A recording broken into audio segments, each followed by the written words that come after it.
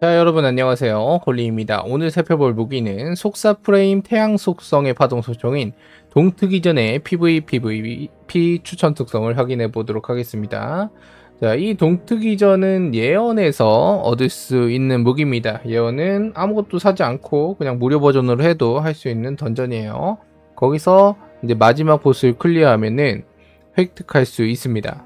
그리고 한번 획득하면은 그 주에 얻을 수 있는 보너스 상자에서도 나옵니다. 주에 캐릭터별로 한 번씩만 얻을 수 있어. 두 개의 상자는.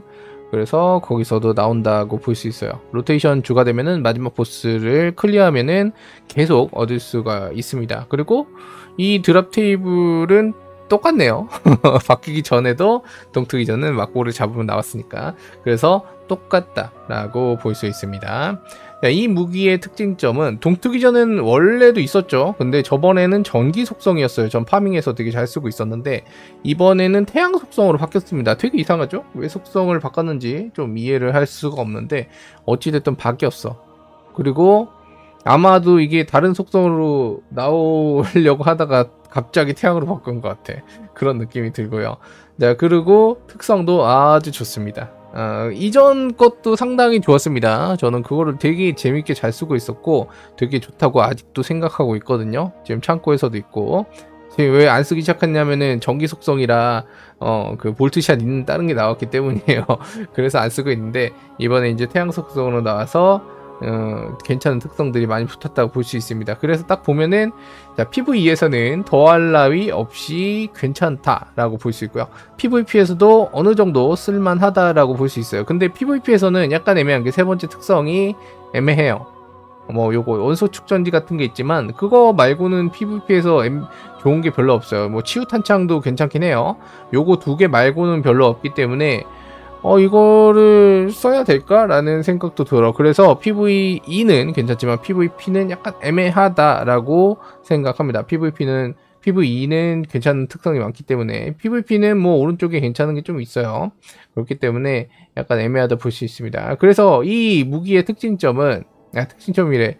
PVE부터 설명해 드릴게요. PVE에서는 이제 반동 방향을 64로 정해놓고 있으니까 요게 화살적 브레이크. 연사형에는 제가 화살적 브레이크로 반동 방향을 잡는 것이 중요하다라고 얘기하고 있죠. 그래서 반동 방향을 잡는 화살적 브레이크로 가시는 게 훨씬 좋아 보입니다. 그 여러분들도 아시다시피 반동 방향을 안 올려도 잡을 수 있으면 사거리 쪽으로 올리세요. 망치 단조 강선이나. 그렇지만 저는 화살적 브레이크를 꼭 추천한다는 거 그 다음에 두 번째 같은 경우에는 이것도 하지 말아야 될 거. 합금 탄창이랑 연장 탄창만 안 쓰시면 굳이 상관이 없을 것 같습니다. 경량, 나팔, 도탄, 대구경, 철갑, 그 다음에 부가타자 이거 예전에도 다 얘기해 드렸지만 항상 제가 총기 설명할 때마다 이 얘기를 계속하는 이유는 어, 이 것만 보고 오셨을 수 있으니까 또 설명해 드리는 거예요. 아, 또 말하네. 할 생각이 없어요. 어차피 초보, 초보들만 보는 거니까요. 베테랑은 니들이 알아서 하시고요. 오케이? 부가 탄창은 탄창을 6발 늘려주죠. 3발씩 발사하기 때문에 두 번 더 발사할 수 있는 겁니다. 그지? 그러니까 이런 걸 잘 생각하고 고르시는 게 맞고, 그 다음에 이게 철갑탄, 대구경, 도탄, 경량은 다 뭔가 이제 총에 추가적인 능력이 있고, 총알에 추가적인 능력이 있거나 아니면 재장전이나 뭐 안정성 같은 거 올려주는 거예요. 도탄은 안정성도 올려주고 튕기기도 하고 뭐 그렇습니다. 대구경은 적들 플린칭 올려주고요. 철갑탄은 적을 뚫습니다. 뚫고 나가요. 경량탄창은 재장전을 올려주죠. 그러니까 그런 걸잘 사용하시면 되고 재장전만 신진경 쓴다면 나팔탄창 이렇게 가시면 됩니다. 요거 두 개만 안 쓰시면 됩니다. 예, 탄, 연장 탄창은 좋지만 재장전이 너무 느려지고요. 합근 탄창은 기본적인 재장전이 느리면은 쓸모가 없다라고 보시면 돼요. 자, 세 번째는 뭐 그냥 몇 개 정해져 있습니다. 몇 개 정해져 있어요. 저는 이 중에 치유 탄창을 가장 높게 보고 있고요. 그 다음에 이제 연명 정도를 보고 있습니다. 뭐 이런 거 있잖아요. 아, 뭐 이런 거를 할 수도 있지만은 별로 그렇게 추천하지 않고 이런 거는 일단 주무기에는 별로 쓸모가 없다고 생각합니다. 음. 주무기에는 별로 피해가 없다고 생각을 해요. 이게 반환 받는 거거든. 근데 주무기에는 뭐 굳이 이게 필요할까? 이런 건 특수하기에나 집어넣는 게 좋고 그 다음에 이제 소모보주는 이제 차선책으로 선택해 볼 수도 있다. 어, 오케이? 선택해 볼 수도 있다라고 얘기 드립니다. 소모보주는 선호 특성은 아니에요. 저는 어느 무기에도 소모보주는 그렇게 선호하는 특성으로 놓진 않거든. 그렇지만 쓸 수 있습니다. 다른 무기에도 뭐 설명을 그렇게 많이 안 해요. 그렇지만 제가 쓸 수도 있다라는 거를 계속 강조해 드리고 싶어요. 그래서 세 번째는 치유 탄창 아니면 연명으로 가는 겁니다. 네 번째 같은 경우에는 지켜봐야 할 거. 요거 살상 탄창 그다음 배결 요거 두 개입니다. 피부 위에서 쓸만한 거. 그 다음에 집중된 분노는 약간 이제 고난이도 쪽에서 훨씬 좋을 거예요. 집부는 발동하면은 일단 어느 정도 시간은 그 보장이 됩니다. 데미지도 높고 어느 정도 시간도 보장이 되지만 아무래도 발동하기가 좀 더 힘들기 때문이죠. 솔직히 한 명 죽이면 발동 재장전하면 발동하는 살상탄창만 못한 거예요. 예, 그래가지고 백열이랑 살상탄창을 추천하고 요거는 이제 고난이도에서도 쓸 수도 있어 라는 얘기입니다. 그래서 시너지를 말씀드리면은 치유탄창이랑 살상탄창은 아주 궁합이 좋아. 무슨 소리인지 아시죠? 살상탄창은 잡고 나서 재장전을 해야 되잖아. 그러면 재장전하면 이게 바로 발동을 해버려요. 그래서 시너지가 좋다는 거예요. 그 다음에 그 연명은 뭐 이걸로 같이 해도 되지만 백열이랑 좀 맞습니다. 응, 연명. 백열 터지면 여러 명한테 같이 터지기 때문에 연쇄적으로 펑펑펑펑 터뜨릴 수가 있거든.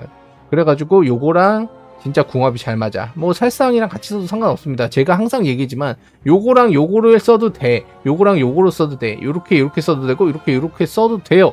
근데 여기 연명이랑 살상은 약간 역시너지죠.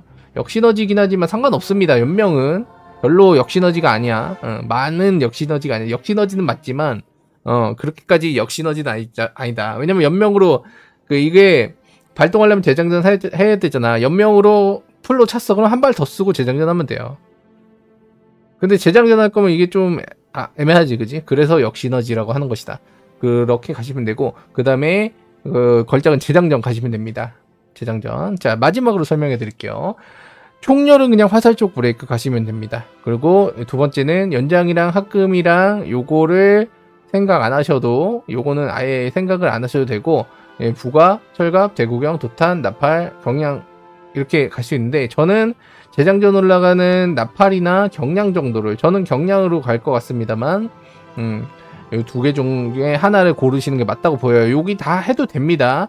그 다음에 세 번째 같은 경우에는 아까도 얘기했지만 치유탄창, 연명 요거 좋고 그 다음에 백열이랑 살상탄창 좋고요. 시너지는 치유랑 살상 그리고 연명이랑 백열이 좋습니다. 만약에 치유랑 살상을 가실 경우에 그러니까 세 번째에 연명을 안 넣고 치유를 가실 경우에는 대장전을 무조건 가시는 게 좋아요. 여기 있는 것보다. 그 다음에 연명이랑 백열 요거 좋고 치유가 무조건 붙으면 아까도 재장전을 골라야 된다고 말씀드렸죠? 그러니까 걸작은 재장전 가시는 게 좋습니다. 오케이 그 정도만 생각하시면 되고 다른 것도 쓰여볼 수 있다고 했습니다 요거는 이제 고난이도 정도에서 사용할 수 있고요 나머지는 뭐 이런 것들이 있는데 별로 그렇게 추천할 수는 없다라는 말씀 드립니다. 자, PVP 가보겠습니다. PVP는 제가 아까 얘기했지만 세 번째 특성이 좀 애매하다라고 볼 수 있다 얘기했죠. 근데 뭐 쓸 너무 구린 게 있는 것도 아니야.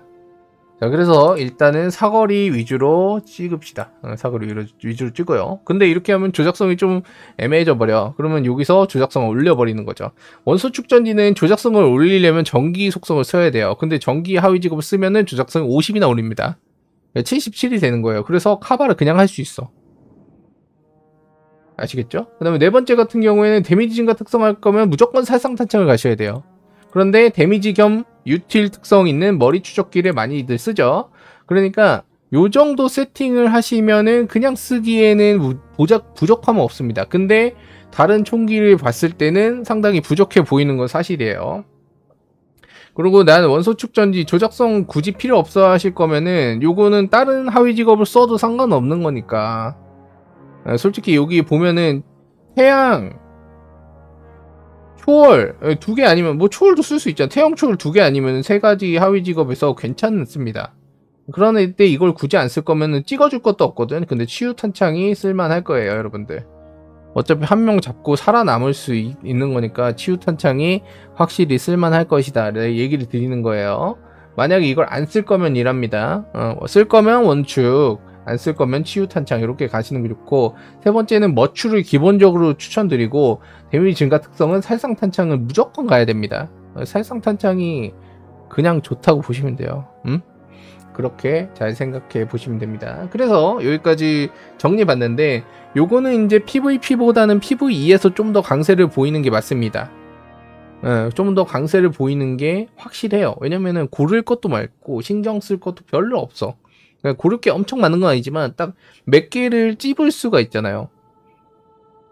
근데 PVP에서는 약간 좀 애매한 특성 롤이긴 해요. 어, 뭐 이 총기의 능력치를 제외하고 애매한 능력치도 한데 뭐 그렇게 못 쓸만한 건 또 아닐 것 같습니다. 그래서 결론적으로는 어, 파밍을 해도 좋고 어, 나오면은 한번 보고 판단해서 사용해 보시기 바랍니다.